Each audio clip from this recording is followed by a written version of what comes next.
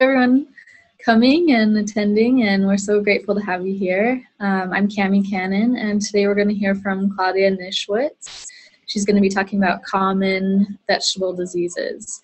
And she's been at USU since July 2010. Uh, she's the extension plant pathologist for Utah, and she does research on vegetable and tree fruit diseases. She also does diagnostics for samples that are submitted to the Utah Plant Pest Diagnostics Lab. She does detection and management options for plant diseases that are submitted. And she got her master's at University of Arizona studying charcoal rot of melons. And then she got her PhD at the University of Idaho on forest diseases. And she did postdoc work in Georgia and Arizona on virus diseases of peanuts, onions, and tobacco, and labyrinthula of turf grass. And um, just a little story about Claudia. Um, when I very first started working here, I had a, a garden that I went to, and the grower was concerned that they might have curly top virus, but it didn't look like curly top to me. So I didn't know what it was, and I took it to Claudia, and she found some tomato russet mites on on the stem, which are really really small. They're microscopic and hard to detect. So she detected those and then showed me them under the microscope. So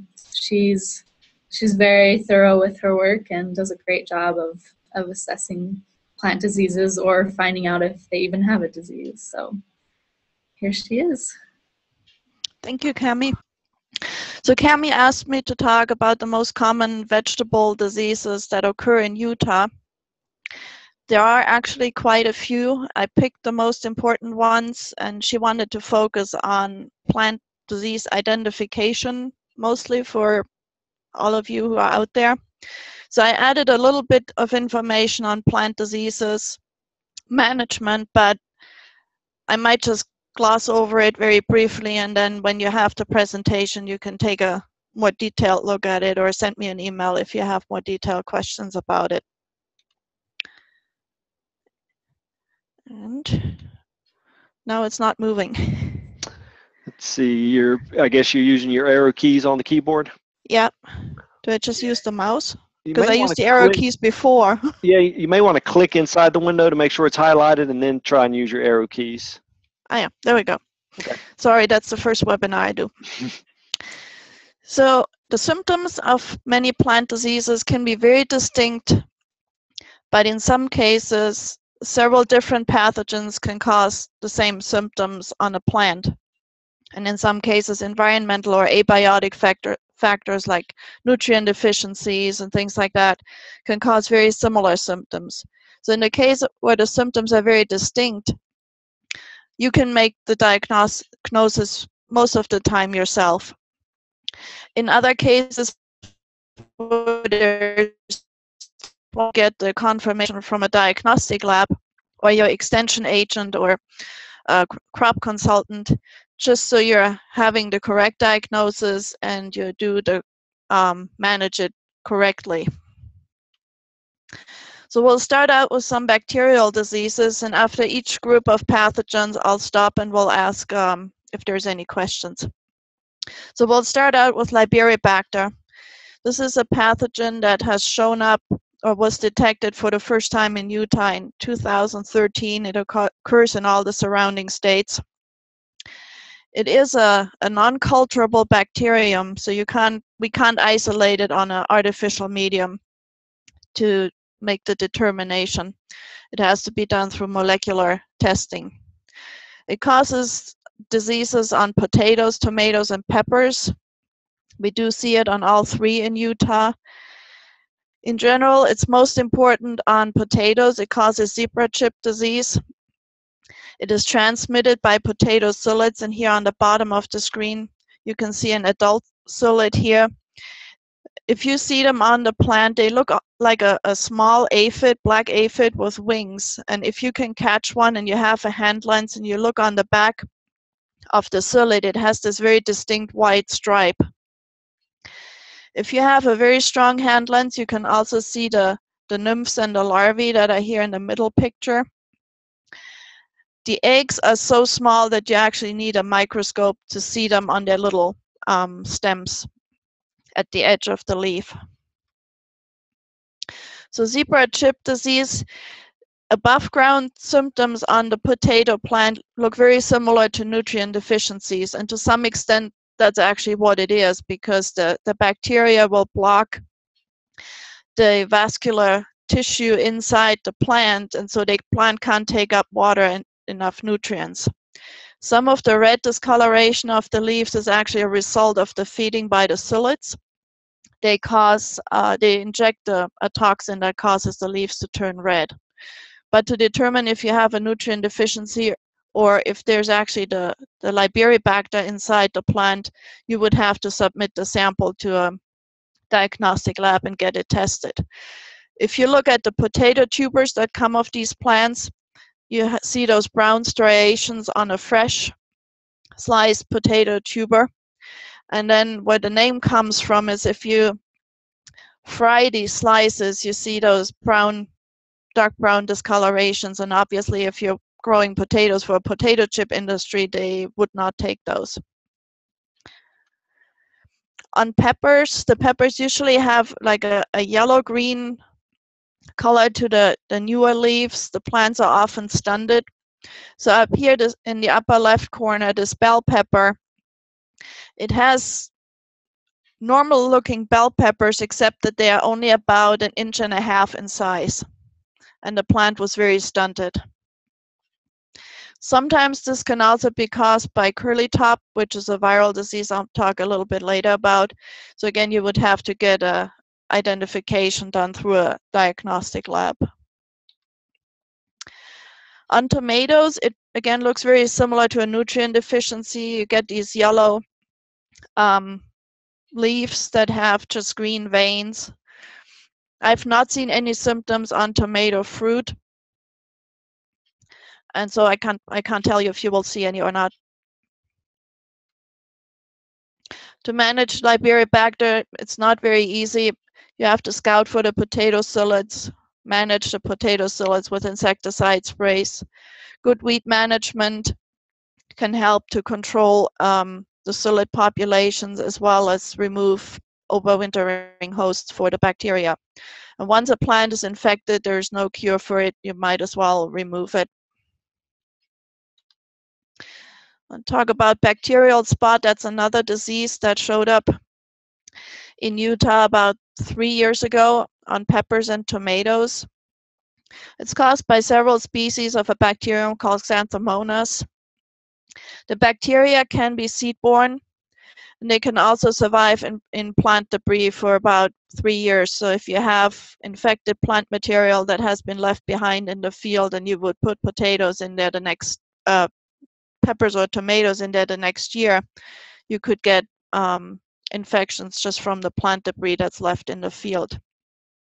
It's spread from plant to plant by splashing water, by wind, or by humans that are walking through the fields and then dispersing the, the bacteria. Usually this disease is not a problem if it stays dry, but if you have a, a thunderstorm or rain event come through, you will usually see the um, symptoms about two days later. The symptoms on infected seedlings, if you grow your own transplants, they may not show symptoms, but sometimes the leaves can turn yellow and they may fall off. It might just look like somebody didn't irrigate your seedlings well enough, but it could also be that you had contaminated seed and that was the first symptom that you saw. On older plants, they usually develop brown necrotic spots on the leaves as well as on the fruit. And on tomatoes, they the um, brown spots are surrounded by a yellow halo. Eventually, the leaves will die and on tomatoes, the dead leaves usually remain on the plant and on peppers, they will fall off. So we have some pictures here. So you see these small brown necrotic spots here on these leaves. That's the folia symptoms. Similar folia symptoms can be caused by other pathogens as well as from spray damage. So it would be good to get a, um, an official diagnosis. The symptoms on the fruit are fairly distinct. Here you have the the black brown spot in the middle surrounded by that yellow halo.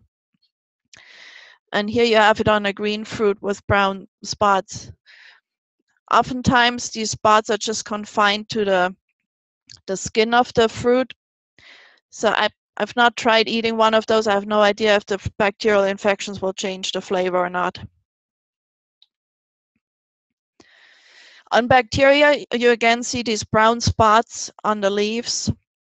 Here you see some a little bit more distant. And then eventually the leaf here turns yellow and it will it will fall off on peppers.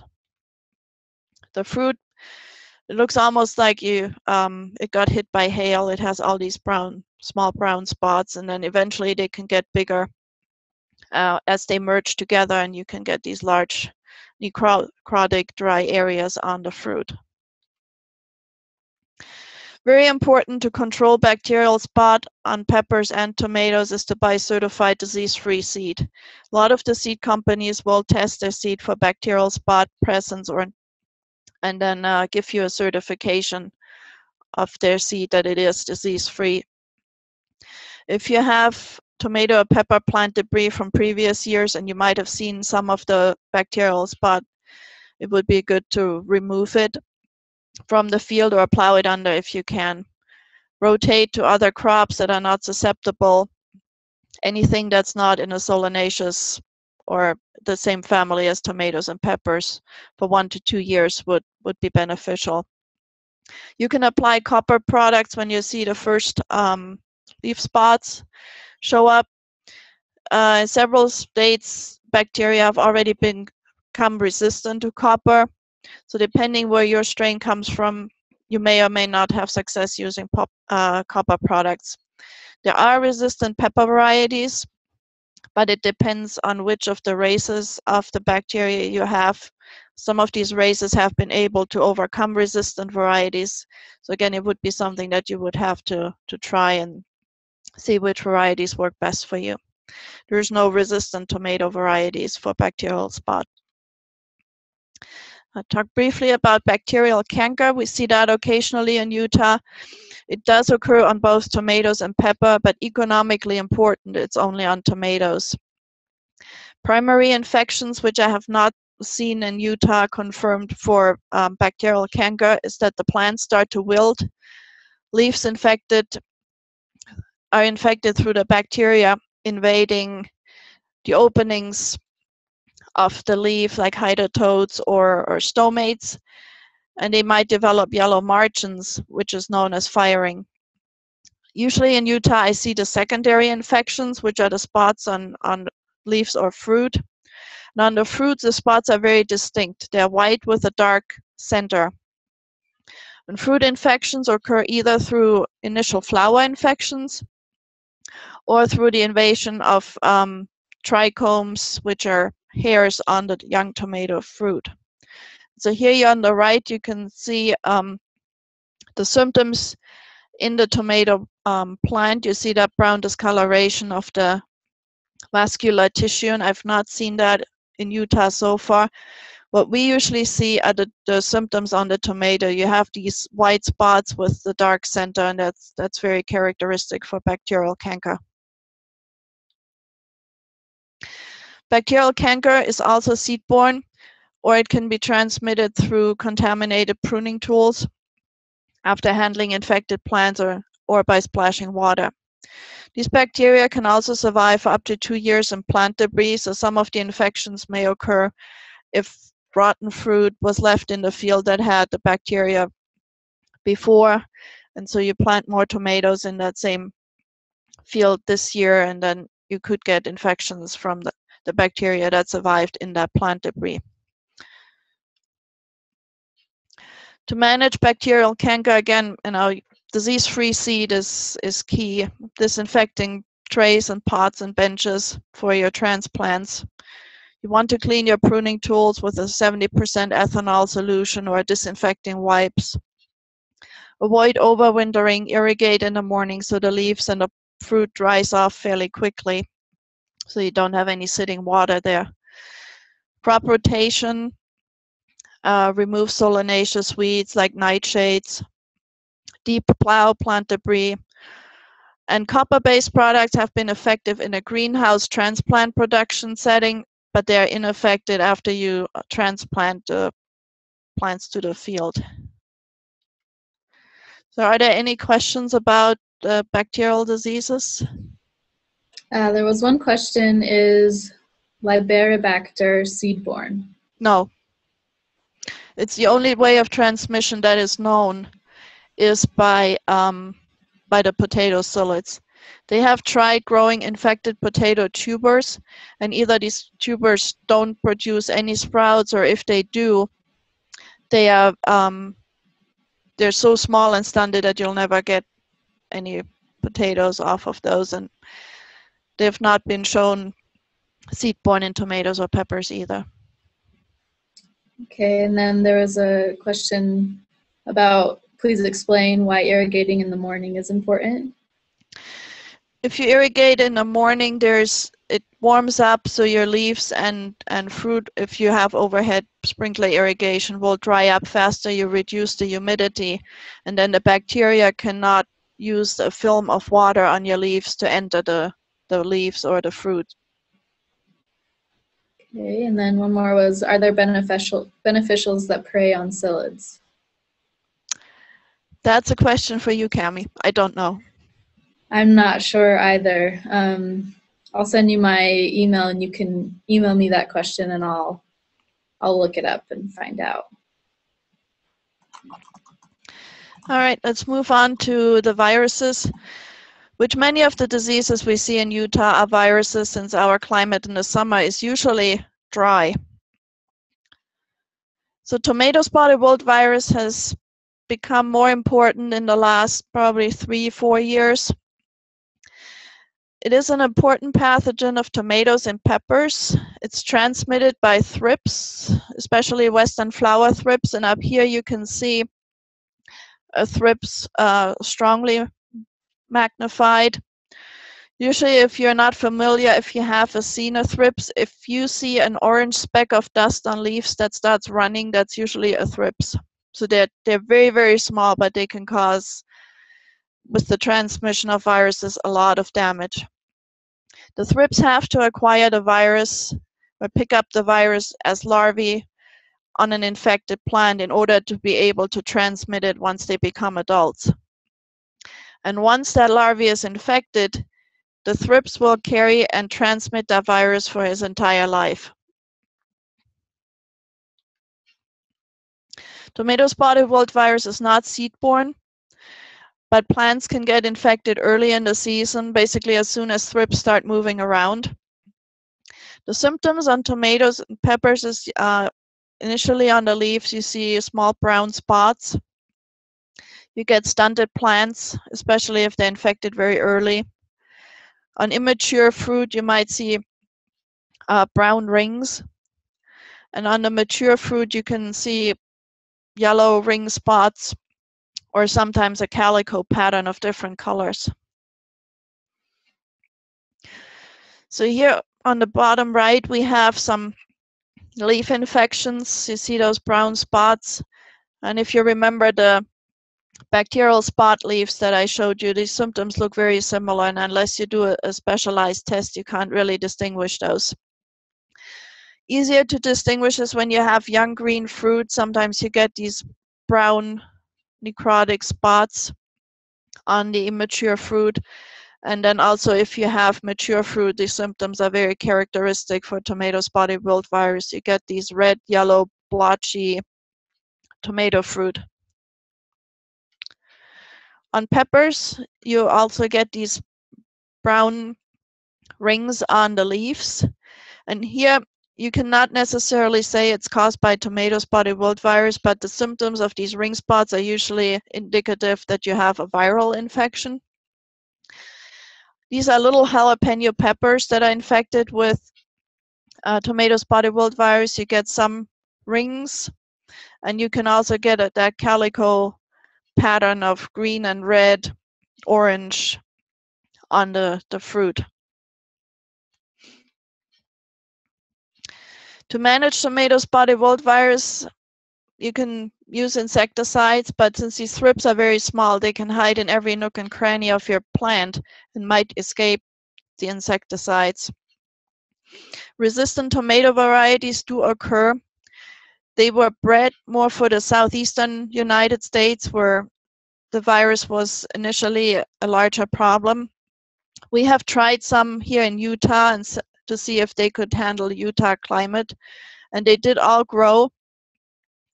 Uh, some of them may have had some trouble uh, actually producing or finish producing fruit before it got cold, but most of these actually worked pretty well.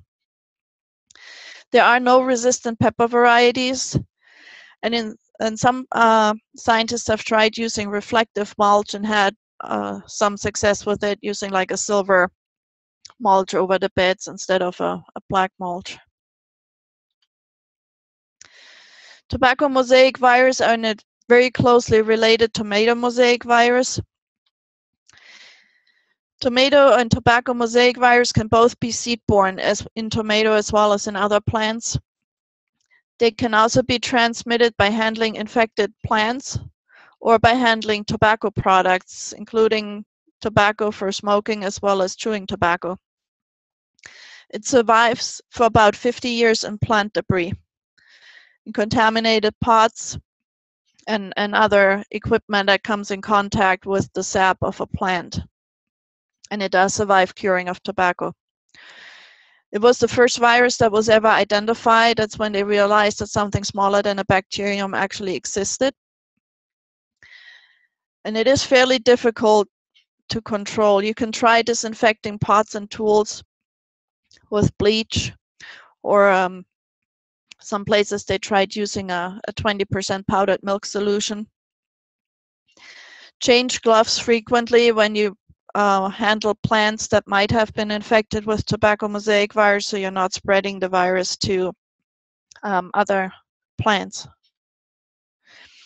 The symptoms on the foliage are very difficult to see. It's like a mosaic pattern of dark green, light green areas. And you can see it best if you take a leaf and you hold it against the light because then the lighter green areas here, you will, will the light will shine through. Usually you see the foliar symptoms on heirloom tomatoes and you will not see fruit symptoms on heirloom tomatoes. On hybrids, it's usually the opposite way. You don't see symptoms, at least in my experience, on the leaves, but you will see symptoms like these yellow spots with brown rings or just brown spots on the fruit. And when you slice through one of these spots, it will go deep into the flesh of the tomato.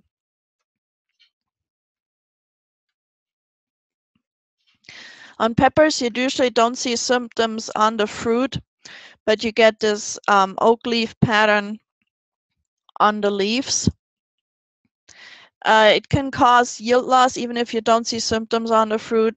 You may notice that you have 20, 30% less yield on some of these plants. Again, to manage tobacco mosaic or tomato mosaic virus, you want to have use certified disease-free seed if you um, plant your own transplants. There are resistant varieties, tomato varieties out there. All of them are hybrids. There's no resistant heirloom varieties. Disinfecting pots and tools replace the plant substrate in your greenhouse beds or wherever you grow your transplants or your tomatoes because all the roots that are left in the ground from the previous crop will carry that virus. And as they decompose the virus will get into the soil and then it can infect the new roots that come in when you plant your next tomato or pepper crop. And again change gloves frequently Potato virus Y, it's not something we see very often in Utah, but if we do see it, it can actually be fairly devastating. There are three strains. There's PVYO, PVYN, and PVYNTN. And the difference in these three strains is that the PVYO or zero causes only uh, mosaic symptoms on the leaf. So you see a kind of a red uh, light green, dark green mottling on the leaves, but you don't see any symptoms on your tubers. They look perfectly fine. Potato virus YN causes necrotic or brown spots on the leaves, and again, it does not cause any symptoms on the tubers. So these two are not quite as bad as NTN, which causes necrotic lesions on the leaves, but it also causes ring spots on the tubers that extend into the, the flesh. And Yukon Gold is one of the varieties that's very susceptible to that tuber necrosis. And if you were growing tomatoes, uh, potatoes for commercial use, now if you see this ring in there, you see it up here on the outside of the tuber, and then when we sliced into it, it was inside as well. You could not sell those potatoes. And here you see the necrotic lesions on the actual potato plant. Potato virus Y is transmitted by aphids. It can also be transmitted by equipment if you go through with a cultivator and you have sap of infected plants on your equipment and then you um, continue going on, you cause small wounds on the healthy plants, you could transmit it. Aphid transmission is more secondary in the field. So if you have an initially infected plant that came from an infected seed piece, the aphids could move it from that plant throughout your field. Usually the main spread and introduction into fields is by the use of infected seed pieces.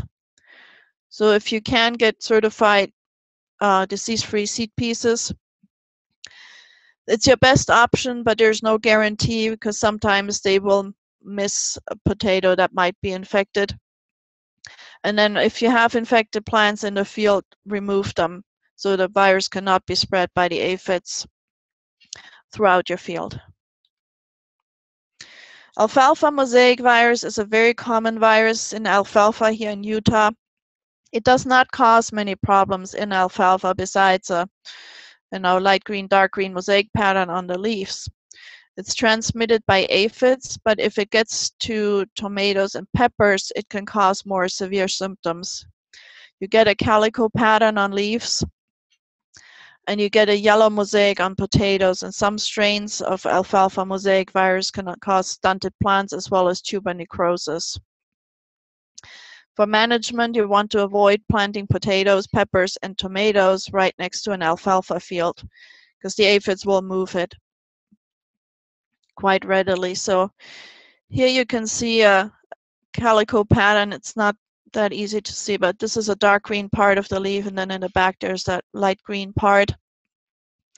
Here's a tomato plant that is infected with uh, alfalfa mosaic virus, and down here we have a, a potato plant that has a yellow and green mosaic pattern on its leaves. Watermelon mosaic virus has become been very important in the last probably four years in Utah. It affects summer squash, winter squash, pumpkins, and zucchinis. It causes color breaking and warts on the fruit.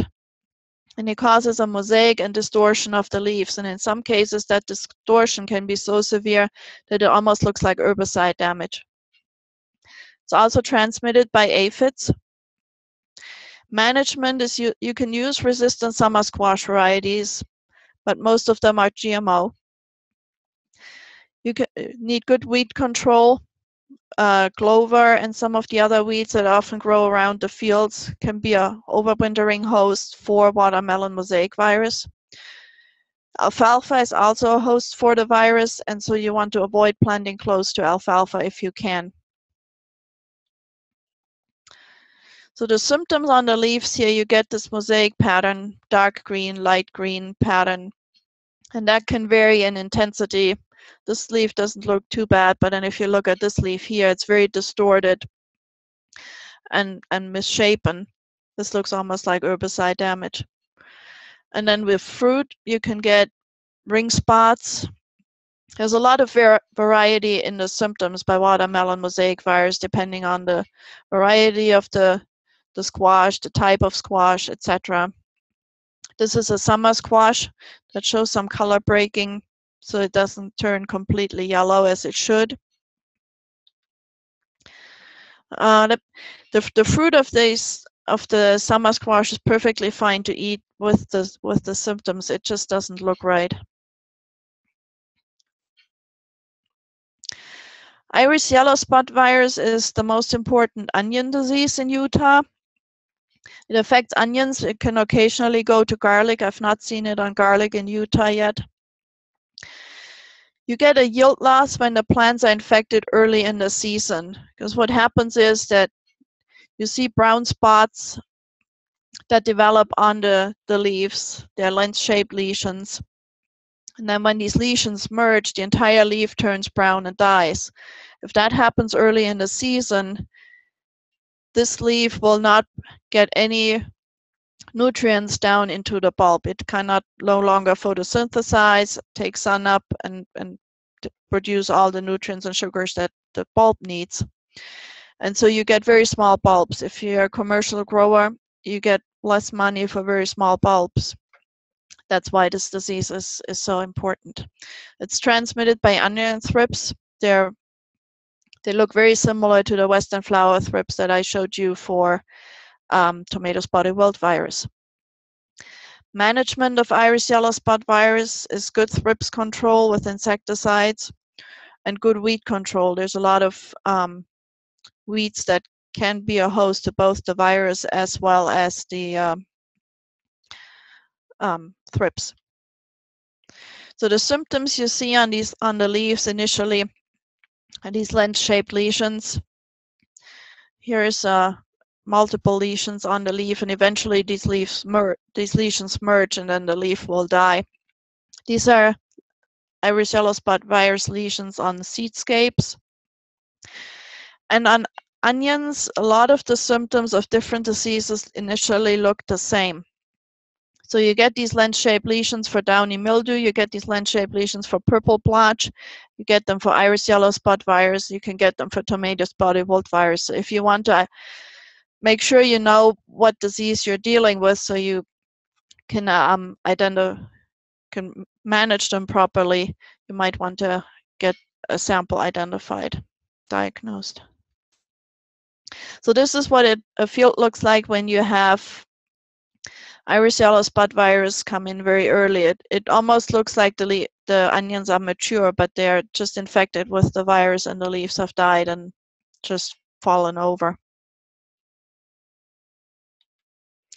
Any questions on virus diseases? Yes, there were some questions. Okay.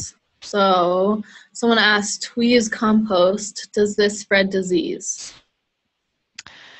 The tobacco mosaic virus, yes. Um, some of the other viruses, like Iris yellow virus, no. But compost can spread also a lot of other diseases, like some of the bacterial diseases we talked about earlier. If the compost does not get hot enough, these, these um, bacteria could survive. Also, some fungal pathogens can survive, and you could spread them with your compost. In some cases, if you, you put um, weeds on your compost pile that have been killed by herbicide. Some of the herbicides will not break down fast enough before you disperse your compost and you could see herbicide damage in all your plants. Okay, um, the next, in listening to the spread of the, these diseases, it seems like we need to really keep our tools clean, which I'm glad to know. Would you recommend not tilling in any plant debris to help with not spreading the, these diseases? Yes, if the plants already show symptoms, I would, would just throw them in the trash. And then someone set, made the comment, regular alcohol works for reinfecting tools, but I, I think they might have meant disinfecting tools. Um, it has to be about 70%. That has been shown to be the best if you have 100% alcohol, for some reason it does not work as well as a 70% alcohol solution, but nobody really knows why. But if you use something like Clorox or Lysol wipes or other disinfecting wipes and you clean it really well, that does help for many of the diseases too. I don't know if it would help for tobacco mosaic virus since that one is a tough one to kill.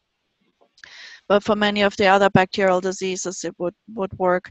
Or disinfecting your um, pots and, and trays with 10% bleach solution. That helps as well. And you can use that for some of your tools as well. You just have to make sure you clean, you rinse them off really well so the bleach does not cause corrosion. Thanks. On the tomato spotted wilt virus, if you eat the fruit, is it harmful? Often we have not realizing that it was a disease. No, tomato spotted wilt virus will not cause any harm to you. I don't know how the fruit tastes because some of the viruses cause fruit to taste bitter. Mm-hmm. And then another similar question was, can these unattractive fruits still be eaten? I'm not sure which disease though. Um, again, that depends. I'm not sure some of these pathogens will change the flavor. And with the bacterial spot, we had some people I think have tried just peeling them and, and using the tomatoes for canning, but again, I have no idea how it tastes. Okay. It may not taste good. And then what distance from alfalfa field is recommended for tomato, pepper, potato growing? That's a good question. Um, I would probably say at least like if you can a quarter mile away. Most of the time when we see it, the, the alfalfa fields are either bordering right up to the vegetable fields or they're maybe a hundred feet or so away. Which I know in Utah with a lot of alfalfa that we grow, it might not be that easy. But you could use something like sticky cards and at least monitor if there's aphids moving into your um, potato fields. And maybe you could, you know, manage them. Spray a border with, with an insecticide to catch the aphids before um, they, they move into the plants. Or you could plant a border crop with a non-susceptible plant variety so the aphids would feed on that plant first, leave the virus behind before they move into your vegetables that would apply to watermelon mosaic virus too. Okay. And then there was a couple other questions. If I plant alfalfa as a green crop and till it under before planting the main garden, is that a problem? No, not unless you have sh shoots come up that are infected with various viruses. If you just plow it under and it'll be, and you, you don't have any shoots coming up, you'll be fine. And how do we best control thrips on onions? Uh, most of the time they use insecticides to, to control them. There's a variety of insecticides that can be applied. But uh, I think Diane Alston would be the best person to contact for that. And we we were talking yesterday at the onion grower meeting about how um, higher nitrogen levels, it seems like that attracts um, thrips. So using an adequate amount of nitrogen. Yeah, but you will not eliminate the thrips. So all you all you need is one thrips that's infected.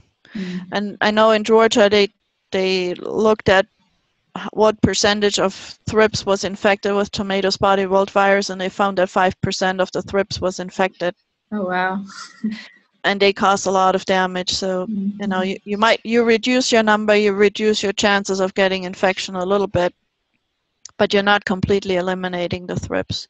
So I think a combination of nitrogen, lower nitrogen levels, and uh, insecticide sprays might be a, a better option. Okay. And someone said, why is it called iris yellow spot? Do iris transmit this disease? I, it's, it has the name because that was the f- irises were the first plant this virus was identified on, and it caused yellow spots on iris leaves.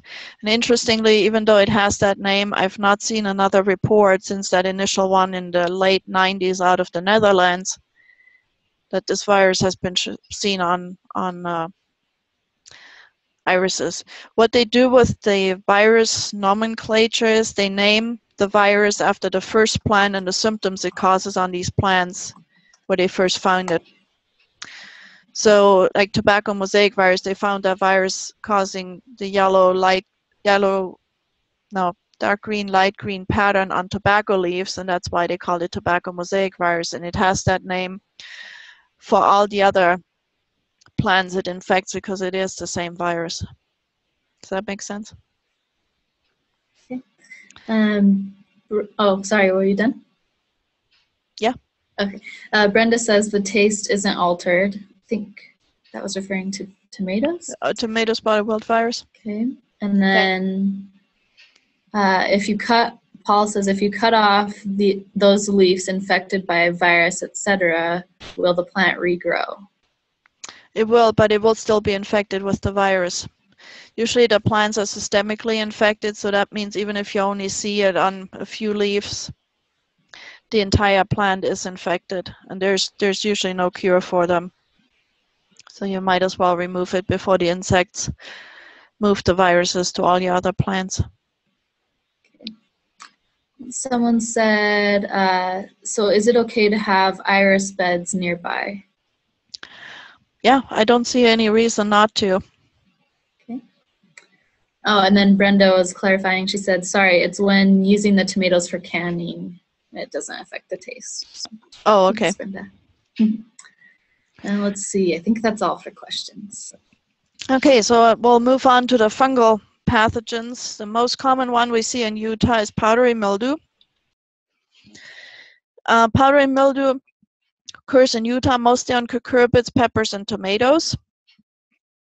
It damage in vegetables is caused by the reduced ability of the plant to photosynthesize, which means it can't take up enough sunlight to produce sugars and other nutrients that it needs for the, the fruits to develop and the plant to grow because the leaves are covered by the fungal mycelium, the, the fruiting body of the, the fungus, which reduces the fruit quality and the yield. Usually those plants, uh, those fruit have lower concentrations and sugars and you get less yield.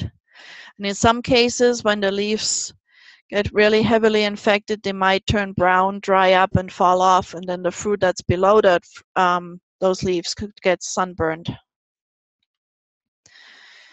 So here you see powdery mildew. This is on a cucumber leaf. You see that powdery layer on the leaf surface. It, it looks like you took some flour and you kind of dusted the leaf with it. And then there's, that's what you see on most plants. There's one exception where the powdery mildew does not grow on the leaf surface. It actually grows inside the plant, and that's the powder, one of the powdery mildews you see on tomato and pepper. And when you turn those leaves around, you see little white spots on the underside. And if you have a very strong hand lens, you might see what almost looks like little trees coming out of the underside of the leaf, and that's the powdery mildew. On the upper leaves, all you see are these um, yellow spots on the, the leaves. So powdery mildew is one of the few fungi that do not like uh, water. It all it needs to grow on the leaf is a little bit of dew for a few hours in the morning or some high humidity. So if you have a very rainy year, you will see usually very little powdery mildew. There's several cultural methods you can use. You can plant resistant varieties depending on the crop. You know, they are, they are available. Remove infected plant material at the end of the growing season to prevent overwintering. So all the dead infected plants you want to take out and fungus does produce overwintering fruiting structures that could then hang out on those dead leaves until you plant your new crop in the next uh, spring. And plant spacing can help. If you plant your plants further apart, you have more air movement going through and there's less dew on the leaves for a much shorter time and you also reduce the humidity and you have a lower risk of the spores on the, the leaves to germinate and, and colonize the plant tissue. Chemical control, usually sulfur products work very well for, for many powdery mildews. You want to make sure that you read the label for the product that you want to use to see if it's actually registered for the crop you do want to use it on. Do not apply sulfur above 90 degrees Fahrenheit. You will fry your plants.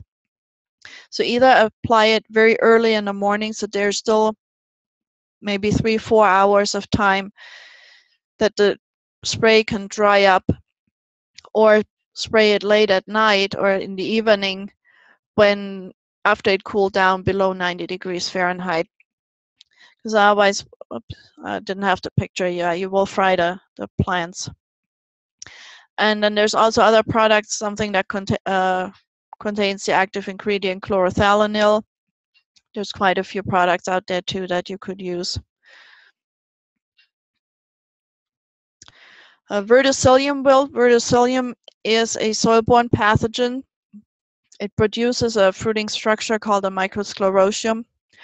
Microsclerotia are very small, round, hard balls of fungal tissue. They're usually black. They're, they contain melanin, which um, deters a lot of other microorganisms from feeding on it. And so they can stay viable in the soil for up to 10 years. Just even without a host plant, they're just waiting for you to plant something that they like. It infects many vegetables, including tomatoes and peppers, also potatoes. Uh, eggplants can be a host as well. Conditions for infections, you need moist soil temperatures between 70 and 81 degrees Fahrenheit. It usually stops growing once the, the soil temperatures get to 90 degrees Fahrenheit. The transmission, if you plant infected transplants or seed potatoes, that would be one way to introduce it into your field.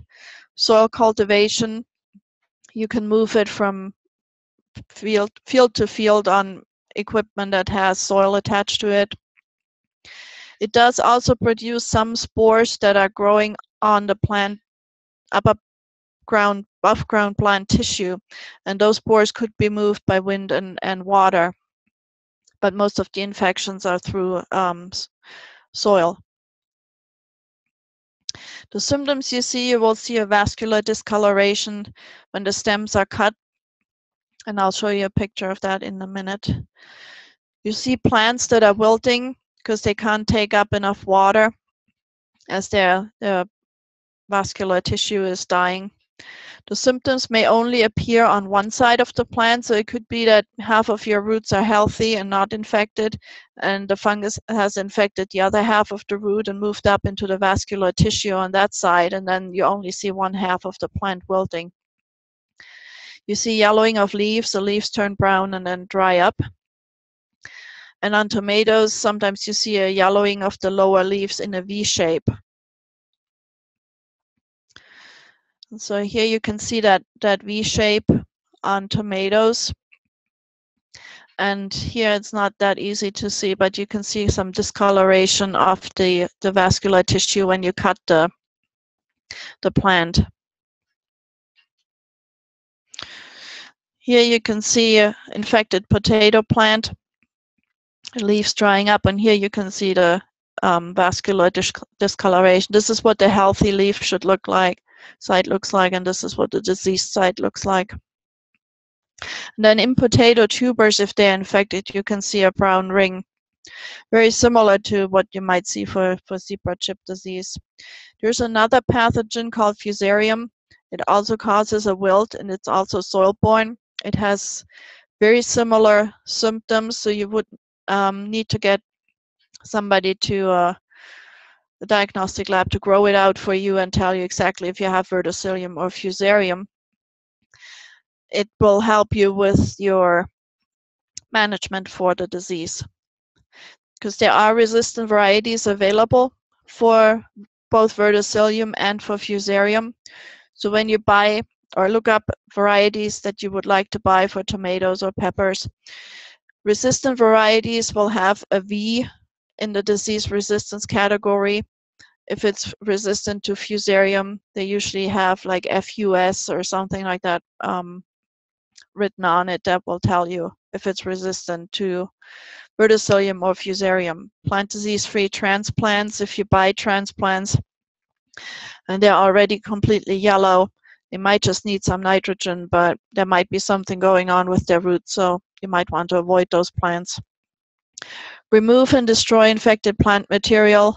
Like I said, verticillium can survive for 10 years in the soil without a host and it can just live off that plant material.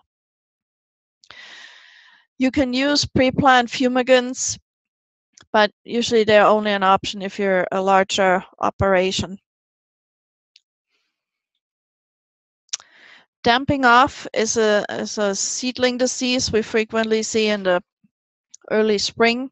The causal agent is a fungus called Pythium. It's also soil-borne. The seedlings turn brown or black at the base and they literally just fall over. And you can see a tray here has some healthy seedlings and then it has some infected seedlings that died and they just fell over. Sanitation is very important for damping off. Um, Pythium produces spores that can swim in a film of water. And so if you have newer disinfected seedling trays, you want to use those rather than the old ones that have soil in them, or you might have just planted a, uh, a tray and you planted those out and you're going to reuse them now for another crop. If they had pythium in that soil and you plant your next set of seeds, you could get more infections. Use sterile or heat treated soil, since this is a soil borne pathogen. If you use compost, you could potentially introduce it.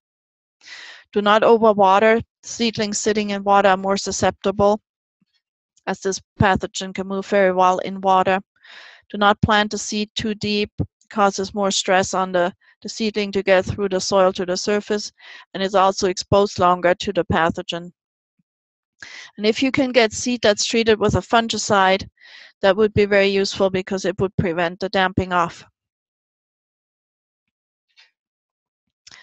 We have botrytis neck rot, that's another onion disease.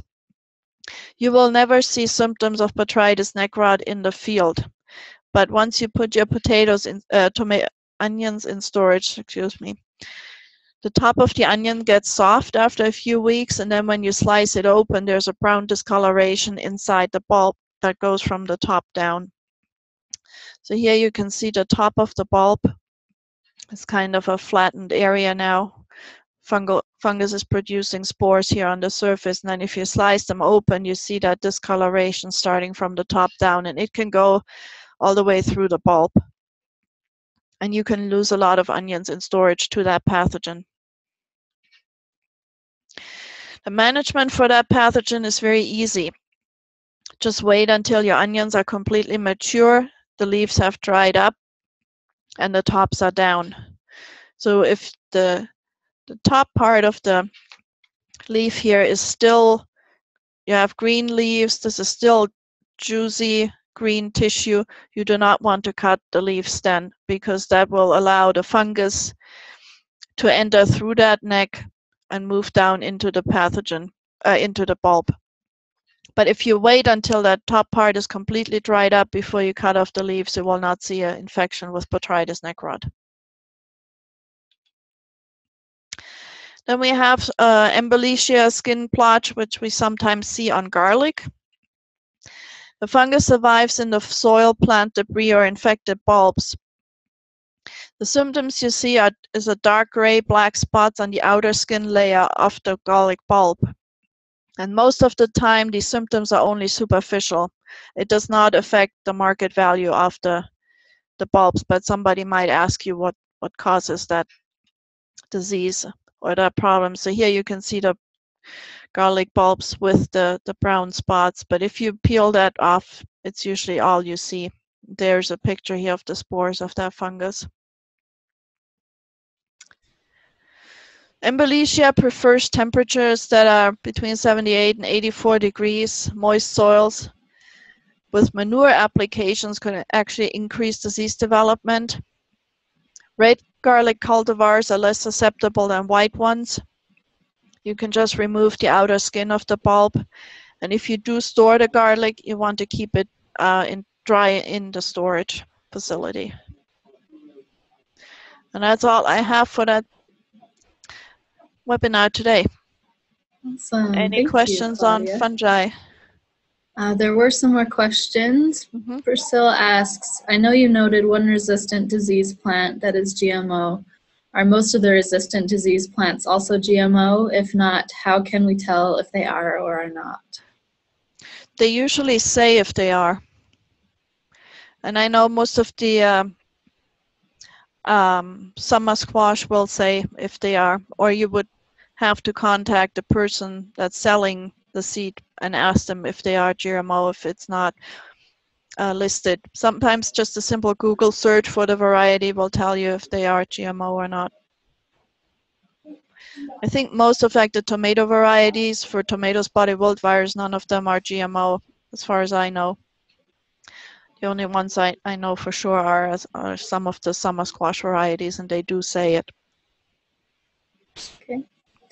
And then uh, Spencer asks how to disinfect trays. What solution? A 10 to 15% bleach solution.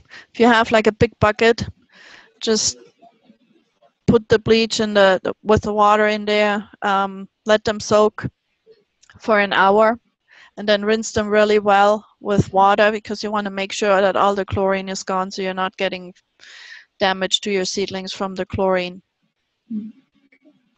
And you can use a 10 or 15% bleach solution also to clean off you know, greenhouse tables or areas where you had your trays sitting.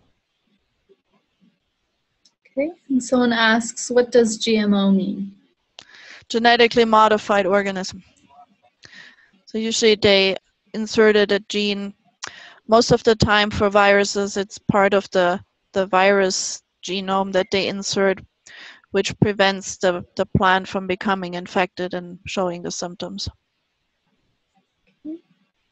And someone says, to clarify on the Botrytis neck rot, I can pull the onions from the field while the leaves are green, but let the tops dry fully before cutting, or do I need to leave them in the field till the tops are fully dry? No, you can take them out and just let them sit somewhere until the leaves are completely dry. Okay. It's the it's the moisture on the neck if you cut the green leaves off that allows the fungus to grow and get inside the bulb. Uh, how do onions get Botrytis neck rot? Is it just from the environment in an open yes. wound?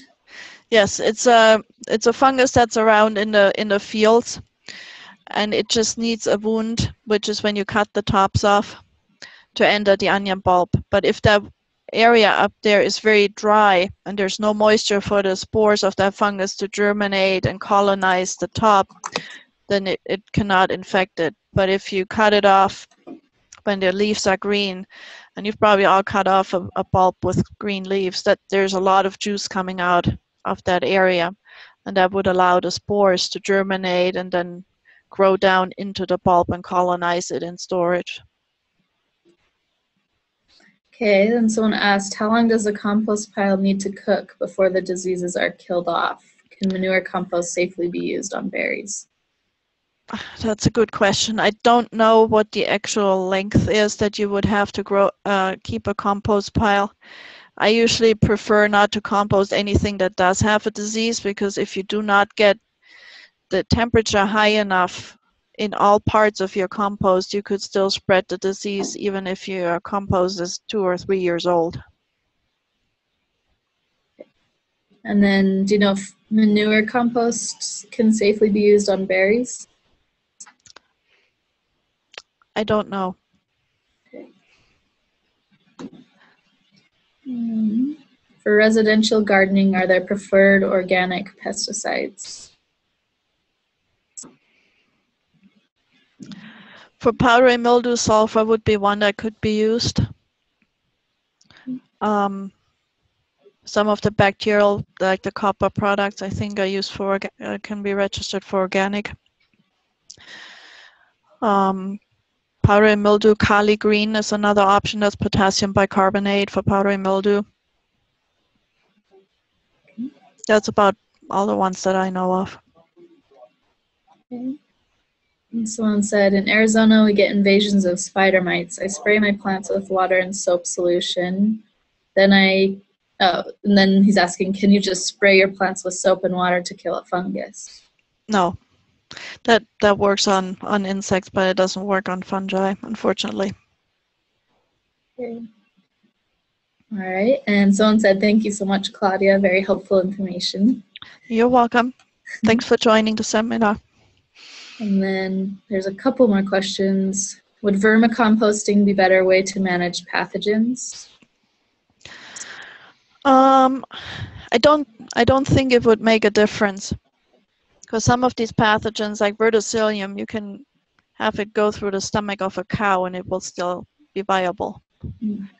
So I don't think of using worms for the composting would make a big difference. Then 10 to 15% dilution of bleach, such as Clorox, which is typically 5 to 6%, correct? Yes. Not not to find a bleach solution that is 10 to 15%. No. No, Okay. take the regular Clorox household bleach and make a 10 to 15% solution of that one. Like- okay. Okay, and then Priscilla says, thank you for the information. And Lisa asks, sulfur products seem difficult to find. Can you give any brand names or for home gardeners?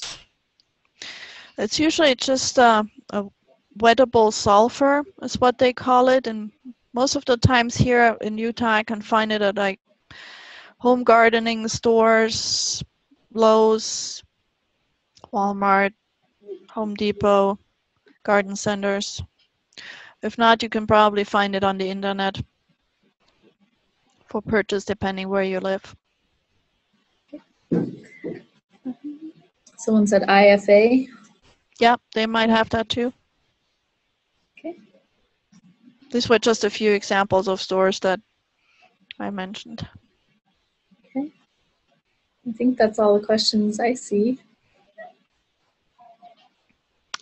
Okay, just uh, for folks' reference, um, you probably you may or may not have found this by the Learn link, but I'm going to put that in uh, chat, and video will be available there, and I guess as well as on. Well, there'll be a link to the video there, which is on, uh, I guess, uh, Utah State's YouTube channel. So that that'll be available uh, within a couple of days. Um, any future webinars you guys are planning, Cami? Yes, the next one is in March. Okay. Let me just pull up my schedule. It's March 14th at 10 a.m. and that one's on biological pest control on vegetable crops. So that would be the natural enemies and biological control. So. Great. Yeah. Okay, so if there's no other questions, thanks Cami, thanks Claudia, and we will Thank you. see we'll see everybody in a few few, few weeks. Awesome. you, Mark. you. Thank you. Bye bye. Bye. Bye.